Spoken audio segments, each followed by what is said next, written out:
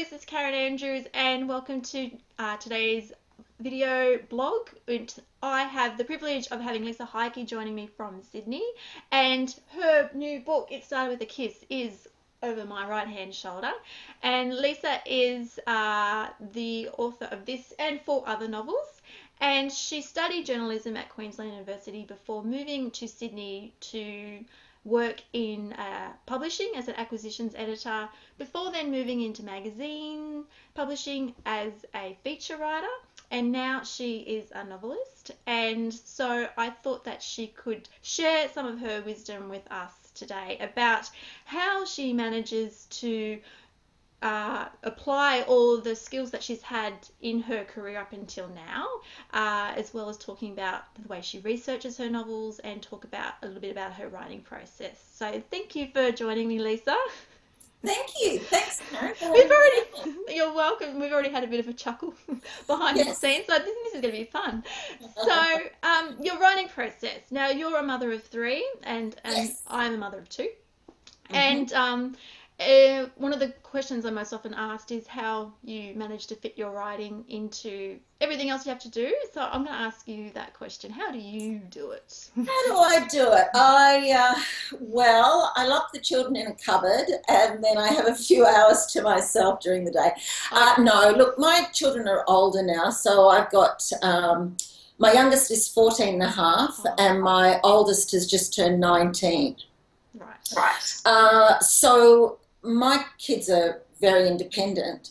However, having said that, you know, I sometimes think it was a lot easier to write when they were all um, napping. You know, when I had three kids under five, and I, you know, I knew they were having naps when they were sleeping and when they were at childcare and all of that sort of thing. When the kids actually started school, I found my days were, were much shorter because I just had between sort of a quarter past nine to about 2.30 in the afternoon.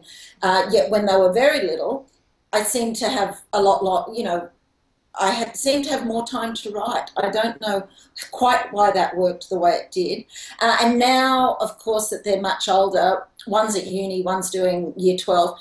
I, I have that time back again because, um, you know, the oldest two drive and, you know, aren't, aren't as demanding. They still need food. They're still screaming for food all the time.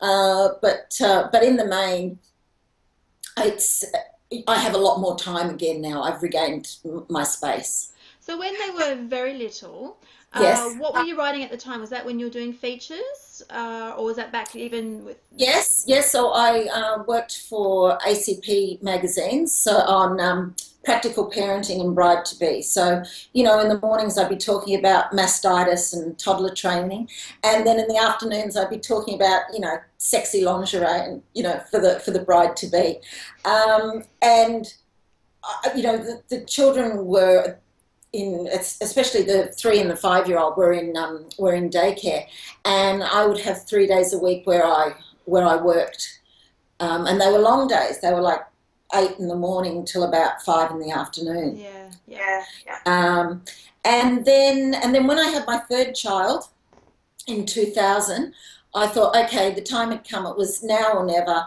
I, I just wanted to to write fiction. So so I just thought, okay, you, you just have to do it. Stop talking about it and get on with it. That's fantastic.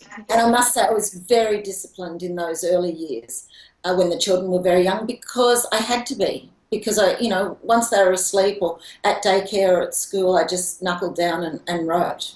So that sounds that I could be wrong. That being disciplined for me means that I try when I'm have really big blocks of time yeah. to that I want to get a, a lot of writing laid down. Uh, yes. Uh, I try and hit daily targets. Is that the kind of word? Yes. Is that absolutely, absolutely. So, for example, well, nowadays, I I wish I could stick to what I'm telling you now, but um, I would like to write 2,000 words a day, four days a week. So that's about, you know, give or take seven to 9,000 words a week, yeah, which I think is doable when the writing's flowing. So when your scenes are working and you've got the ideas and, and you're obviously motivated to, you know, to sit down and just focus on the, um, on the story, uh, and that's always been pretty much my my target. Yeah. And that um, you say on, on a good stretch, does that include? So, are you a planner as well? Do you? No, no. Oh, okay. I'm a pantser, which is fabulous because it means you can be spontaneous and, you know, if, if an idea comes to you or you read something in the paper, you can incorporate it into your story. But the downside of that, Karen, is absolutely that uh, sometimes when the writing's not flowing and you're 20,000 words into a story, you go, oh, well, what happens next? What do I do?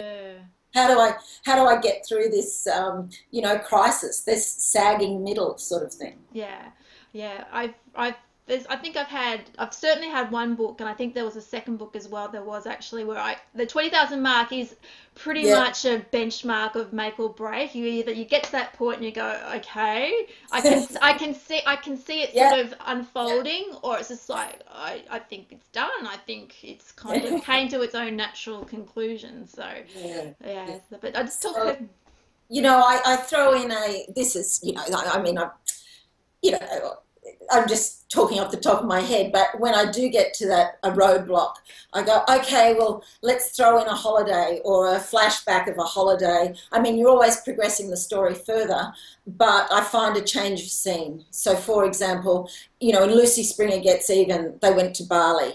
In um, you know other books, Claudia, she went to Santorini, and I just find that even you know little little things like that obviously it's got to be plausible, yeah. but can start you on a whole new tangent. Exactly. And, and, started with the kiss as yes. multiple points of view. Well, there's two main points of view as well, so that's another way you can approach that. Abs- yeah, absolutely, absolutely. In it started with a kiss. We've got the protagonist's um, first person point of view. Friday is her name. Her her first person point of view, and then her husband or her ex husband, we get his story, but it's told from third person. So it's still his thoughts and his his story, but um, it's just a, a different um, point of view. Yeah, no, that's great. And so with um, when you came to writing novels, how did you feel that your work in publishing, for starters, helped you? Did it? Do you think it set you up to be a better writer because you you know both sides of uh, both sides of the, look, the industry? I think, I think, it helped me again, sort of the discipline wise, mm. and because back when I worked in publishing, I would obviously work with authors. And even though the majority of um, books I was commissioning were non-fiction, uh, so it's a you know it's a different writing style, obviously, when you're doing creative writing. But I absolutely understood the commitment that these authors needed to make. You know, it didn't matter that, um, you know, the kids were on school holidays or, you know, someone had broken their leg or, you know, or they were doing sole parenting. If they had a commitment to write uh, the book and a deadline, they virtually had to stick to it because in publishing, you know, you have to stick to a deadline because it go, has to go to print and then there's distribution and publication dates and all of that sort of thing. So if you're late with your submission, mm. it pulls everything back and everything, you know, goes into free fall because they can't be published on that particular um, day or month or academic year. Yeah. So I certainly learnt the discipline side of it and the, you know, the fact that it was a lot of hard work and research and um, again just that sitting down bums on seats sort of thing sitting down and and just writing even when the muse isn't firing i guess. You've just got to so i so i certainly learnt that. Uh, when i was um, a feature writer at the magazines uh, again it was all about deadlines getting the story down and it didn't matter. So what if you've got a headache or you're up all night with the baby? You still have to submit that story at four o'clock in the afternoon. Yeah, yeah. it's like ooh, that's, um, that's my microphone then. Uh, I think yeah, and, and, a lot of people sort of when they're looking into it, they it, it, it can be quite easily romanticized and glamorized, yeah. and at the end of the day, it, it is it's work. It's you know, and I find a lot of the time it's fun work. Oh yeah, yeah. absolutely, yeah. Um, because writing, you know, I always think about it like this when I'm feeling a bit, you know, when I when I feel down or I'm going, oh God, I don't think I've got, an, you know, I can't figure out another story. Then I'll just say to myself, hang on, you're at the start, you've got 90,000 words to play with. You can create this amazing imaginary world and play with all the, you know, your imaginary friends.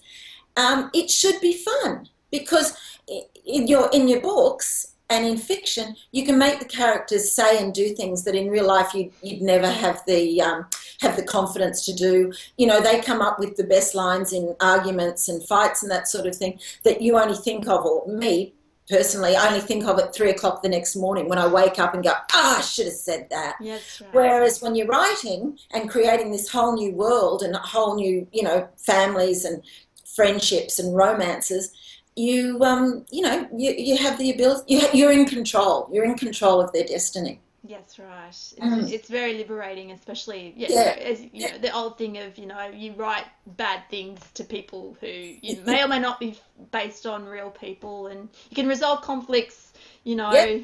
yeah. that you might be able to do, etc. So you you said the word uh, research, and um, yes. that's a huge part of um, novels really like I mean, more in like historical novels obviously or things like that. But um i mean in it's Started with a Kiss uh you mentioned in the acknowledgements at the back about people who help you along the way and like you talked about i think you needed to research the stand-up scene because liam the husband ex-husband uh, was getting into that yes. sort of uh, avenue. Yep. And naturopathy is what uh, is Friday's occupation. So, h- how do you offer? How do you pick what occupations match Well, them up with your characters? The story with this one was that, and again, because I'm a pantser, I just start with an idea and just go. So when I was writing the first draft, Friday was an interior designer.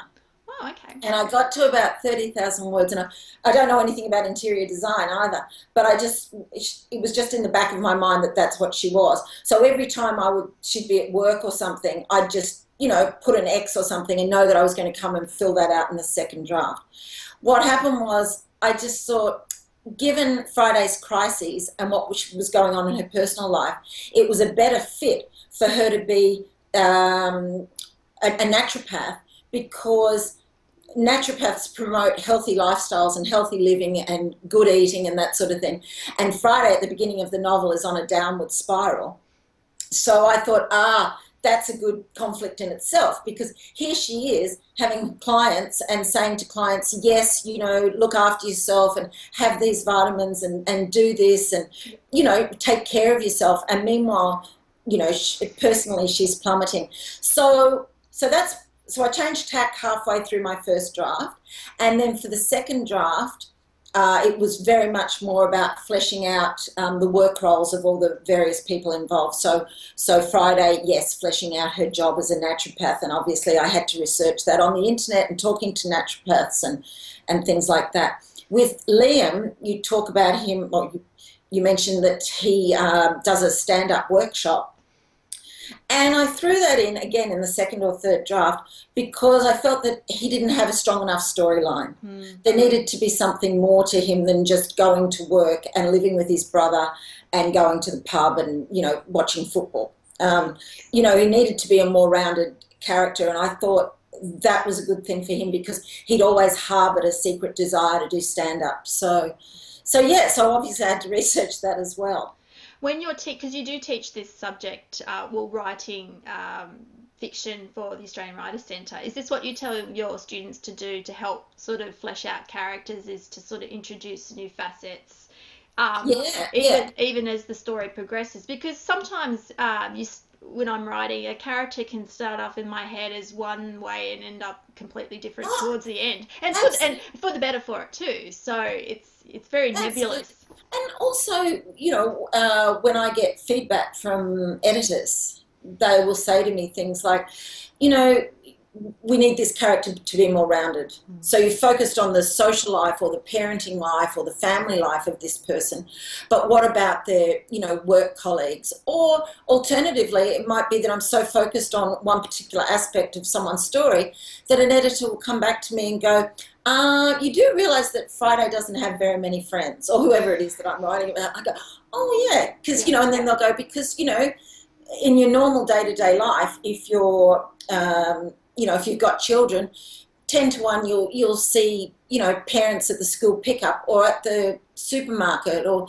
you know incidental you know your your meetings just because um, because you you do know people. So it's important to put that sort of thing in as well. Not the banal everyday stuff like I'm staring out the window drinking my twentieth cup of coffee for the day, but more to just make sure that that, that character is Yeah. is three dimensional and real.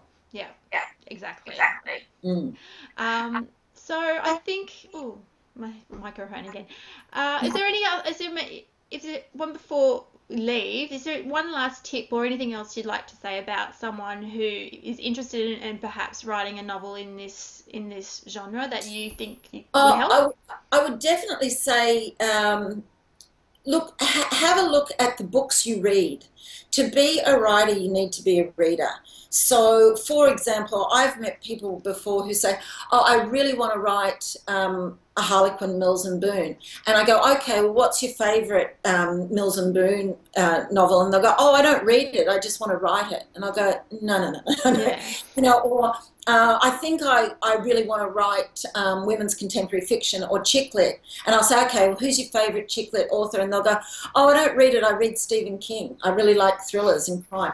So I would suggest that if, if, uh, if you're wanting to write, you should be gravitating towards the genres that you, that you read. So, and then really looking at those authors and reading those author blogs and, and Karen, practicing absolutely just practicing you know like um, again i meet people who go oh, i'm too afraid to write dialogue well that's unfortunate because you're going to have to Mm. uh, it's so you know it's all about practice and letting yourself go and not being restrained by anything. So if your if your book or your story lends itself to um, two characters having sex then you know don't be afraid to write that sex scene even though you're going oh my god i don't want dad to read this or i don't want my son to read this or i don't want my husband to read this or whatever it is.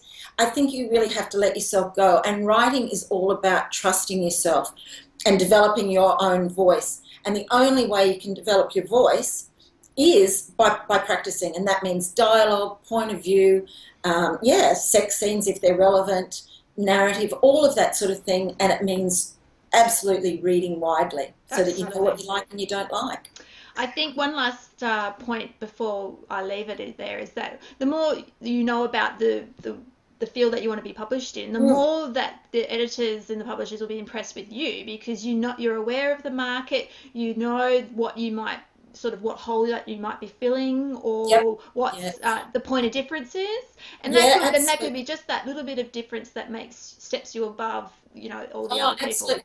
And I would also say, adding to that, is that when you think your manuscript is ready to be sent to a publisher, and I guess I'm talking about traditional print publishers like Penguin, Allen and Unwin, Random House, that sort of thing.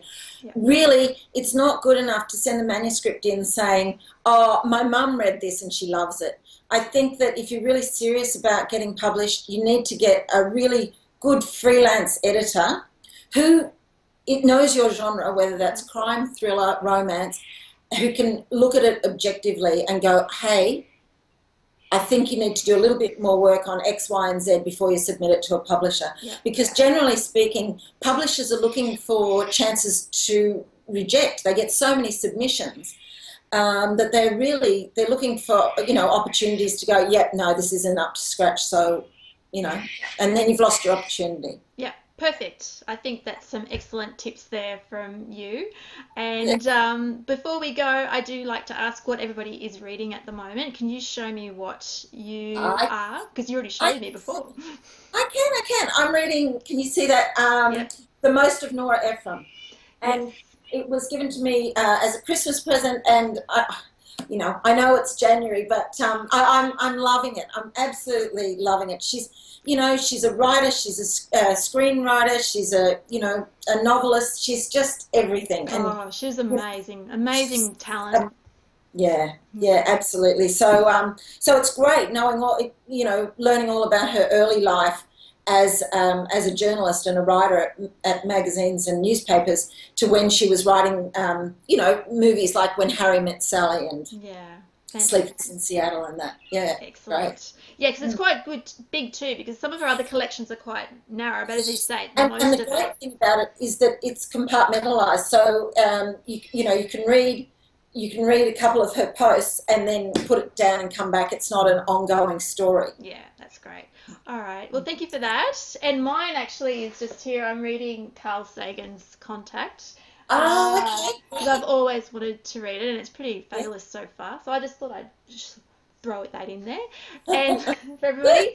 So I think uh, our time is up. So I really would like to thank you, Lisa, for joining me today. Thank you. It's And been wonderful. I've really enjoyed it. me too, and all- all the best for the continued success for it started with the kiss and all the other books that I'm sure are to come. So Oh, thank you. I hope. I'm sure, I'm sure, I'm sure it'll happen. So thank you again, Lisa. Okay, thanks, Karen.